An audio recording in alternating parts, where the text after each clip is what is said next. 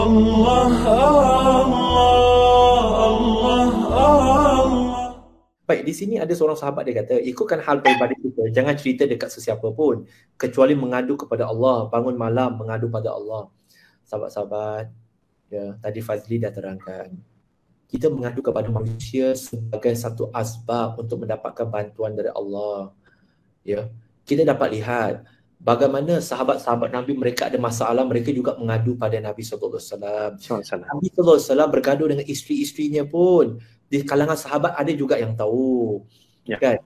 Umar, khalifah Islam yang syaitan nampak pun akan lari tempat lain pun dia pergi dapatkan kaunseling daripada Nabi sallallahu alaihi wasallam tentang masalah rumah tangga dia. Kenapa lah Nabi kata, "Yei Umar, engkau tu afaru Umar. Engkau tu kalau setan nampak engkau pun lari, ini kau takut bini buat apa? Jangan komplain kat aku, kau komplain kat Allah bangun tahajud." Tak, tak macam tu.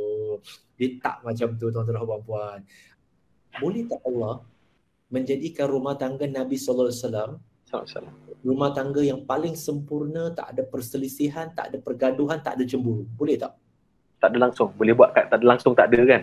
Boleh tak Allah jadikan? Boleh kan? Boleh. Tapi kenapa masih Allah okey membiarkan dan mengizinkan bahawa rumah tangga Nabi itu ada cemburunya dan sebagainya sebab tuan perempuan sebagai praktikal untuk kita mengatasi masalah kita pada hari ini. Kalaulah Nabi SAW terlalu sempurna sehingga tak ada cemburunya dan sebagainya, kita tahu dalam sirah bahawa ada tim Hafsah, ada tim Aisyah. Kita yeah. tahu. Okey, isteri-isteri Nabi. Ummu Salamah ketika Nabi SAW pergi meminang Ummu Salamah. Ummu Salamah berkata, Ya Rasulullah, apakah kau benar nak meminang aku? Sesungguhnya aku ni adalah wanita yang tua, aku ada anak dan aku ni adalah wanita yang cemburu. Nabi kata, aku akan berdoa kepada Allah untuk mengurangkan cemburu. Nabi tak kata, aku akan minta Allah tak adakan cemburu kau. Tak ada. Maksudnya, itu practicality-nya kat situ tuan-tuan dan puan-puan. Sebab itu, kita kena betul-betul mendalami ilmu counselling dan juga ilmu sirah.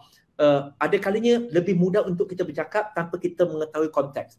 Kalau kata nak mengadu kepada Allah semata-mata, bila kita nak naik gaji pun kita mengadu dekat bos. Adakah kira itu kita tidak uh, mengadu kepada Allah? Tidak. Kita selalu akan mengadu kepada Allah, kemudian mengadu kepada manusia. Kita berdoa kepada Allah, kemudian asbabnya kita cuba cakap dengan manusia. Yang memiliki hati adalah Allah. Sebelum kita bercakap dengan orang itu, kita minta kepada pemilik hati untuk membukakan hati orang yang kita nak bercakap. Itu je.